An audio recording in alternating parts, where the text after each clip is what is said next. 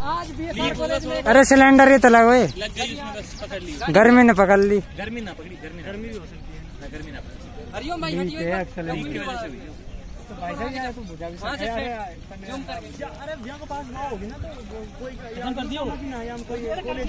तो या कहीं रहे हो इतना सोए को हुई हम लिखने लगे फायर ब्रिगेड मंगाया के लिए हाँ ये तो है तो और तो नहीं से तो हो। हाथ चला जाओ तो दिख रिश्ता में।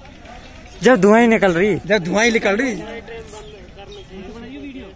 अरे वो सर ने शीशो कोई पड़क पड़क जाती सी और सर ने शीशो खोल दिया उन्होंने गेट को। ओपन कर तो बहुत बढ़िया रहा। मैंने सर ओपन कर दे। तो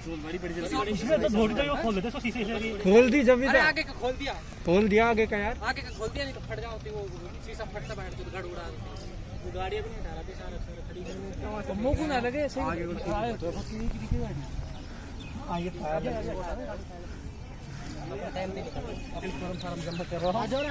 सिलेंडर तो इसका तो पीछे से आई तो कांच टूटा है ना पीछे से भी।